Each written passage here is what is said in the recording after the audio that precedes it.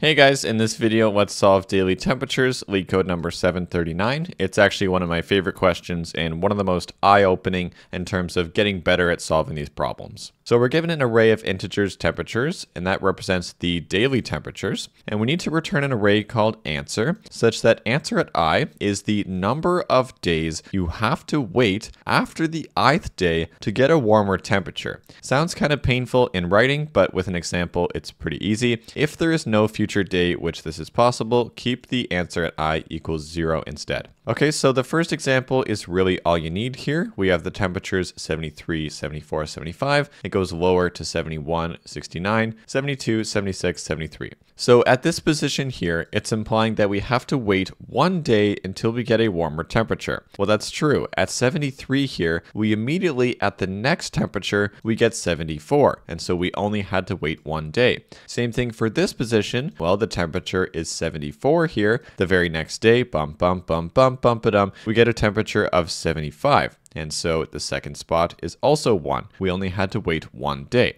However, in the third spot, it says we had to wait four days. So that's true. At 75, this was lower, this was lower, this was lower, but here 76 is higher than 75. And so we had to wait four days for that position. And so for here, we had to wait two days. These we had to wait one day. And at the very end here at 76, there's actually nothing that's higher than that. So that stays at zero. Same thing with 73. The last value is always going to be zero because there's nothing in the future. So of course we can't have a warmer temperature.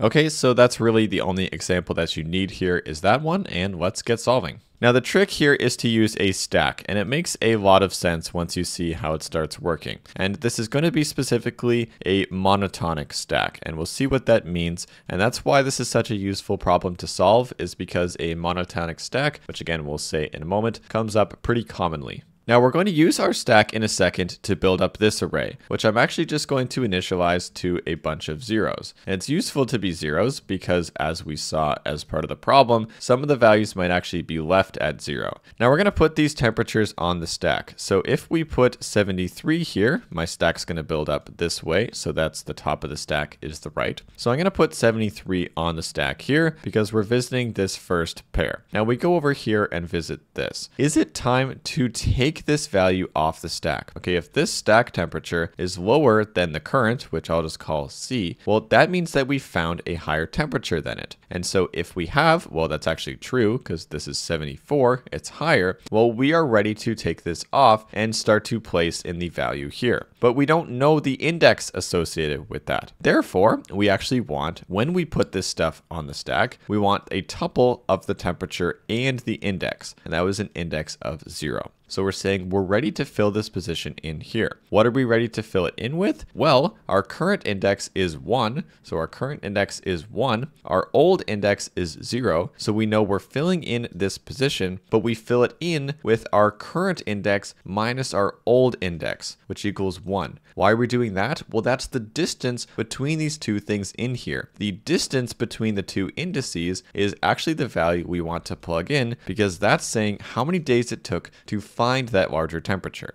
Okay, so we take that value off of the stack. I'm just going to erase all of this stuff as well. And we really just put this value back on the stack. Okay, so 74 and 1, and we are ready to move on. So here we have 75 and 2. Is it ready to take this thing off the stack? Well, yes it is because we found 75 and that is a warmer temperature than 74. So we do the same thing here. We have the index of 1. That means we're going to insert into this position. We take our current index, which is 2. We take our old index from the stack, which is 1. We get the value of 1. So we're saying in this position right here, this is the one we want to change. We want to plug in this value here. That's the number of days it took to find a warmer temperature. So we plug it in there. Again, we'll take this off the stack. I'm just going to erase all of the stuff and I will put this back on the stack here. So we have the temperature of 75 and the index of 2 we move on. And so is it time to take this off the stack? Well, no, it's not because our current temperature is 71.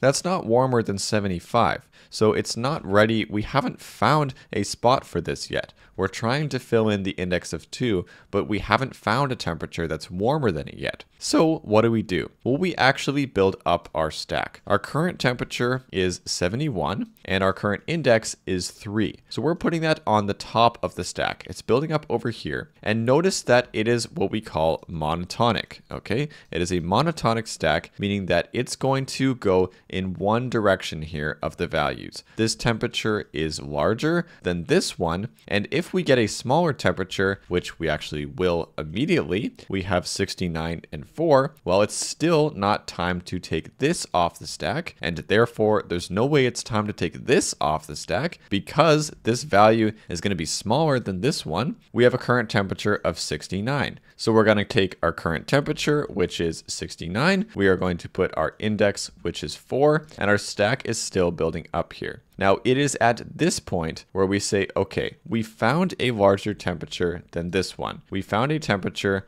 of 72. So it is time to take this one off. Well, we found a solution for the index of 4, so we're going to insert into this position, and we put in the difference of the indices. Our current index is 5, we take away our old index, which is 4, and that equals 1. So in here, we place in the value of 1. That makes sense because at this spot, it only took one day to get a warmer temperature.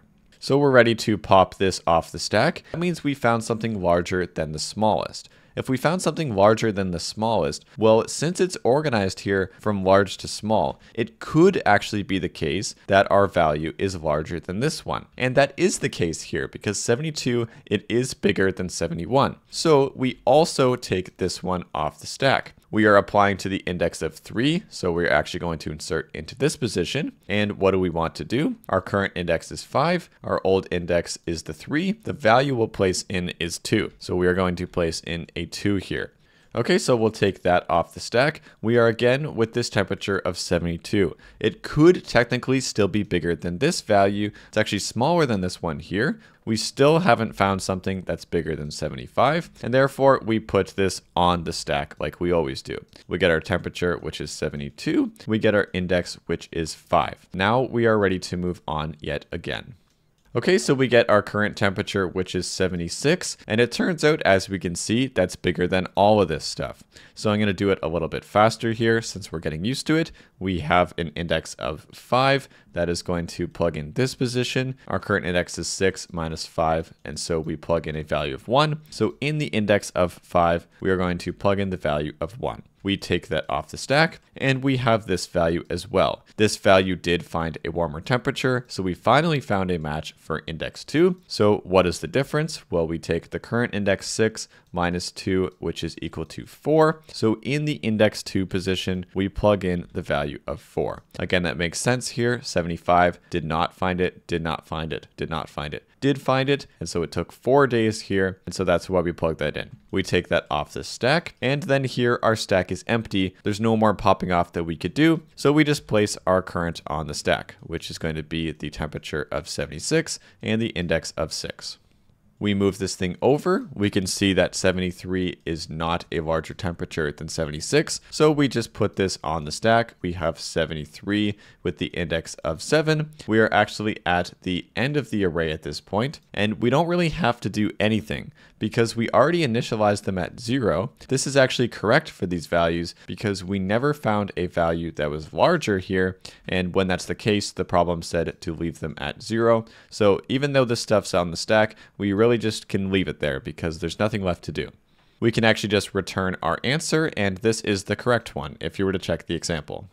Okay, let's write our code, and I really enjoy writing this code. I think it's really fun. So n is equal to the length of the temperatures. Let's just do that. And by the way, I'm actually just going to set temps equal to temperatures, just because writing that out every time is a little annoying. So we'll get n is the length of the temps. And we're going to set up our answer. So this is going to be our return answer. And we'll initialize it to n many zeros for now. And we'll get our stack, which is going to be just an empty array for now. Now we'll use enumerate, so we'll go through for I and T in enumerate the temperatures. If you haven't seen enumerate before, it just gets this value is the index and this value is the value, which is going to be a temperature. And then the really fun part of this is we're saying, hey, while we both have a stack, as in our stack's not empty, and the stack at negative one, so that's how we get the top of the stack. So while the top of the stack's first value, which is the temperature, because we're going to be storing tuples of the temperature is the zero and the index is the one. So while the top of the stack's temperature is less than T. What does that mean? Well, this is where we keep popping stuff off the stack. While the top of the stack has a temperature that is smaller than the current temperature, it means we need to start popping. So we'll pop off and we can do get the stack temperature and the stack i is equal to stack.pop. That basically just says pop off the tuple and immediately plug in the temperature that was there and the index that was there and we want to set answer at the stack index. Okay, so we know that whatever index you had on the stack there, that's the position you're ready to set. And what do we want to set it to? Well, we said it's the current index, which is i, take away the old index, which is the stack i. That's the rest of our while loop. And then at the end here, we no matter what, we just want to stack.append the tuple of the current temperature and the current index. We always want to put that on whether we did any popping or not. And then here, we're actually done. We simply just need to return the answer. The code is super duper clean. And here, let's talk about time and space complexity, which we actually didn't discuss there. So the time complexity of this, well, what are we doing? Well, we're just looping through the temperatures. So if we say that n, well, we've literally said that n is the length of the temperatures. So it's going to be at least in O of n. Now we have this extra while loop, which might make you think the complexity is more complicated, but it's really not because we're running this while we have a stack and some certain condition. That doesn't really matter.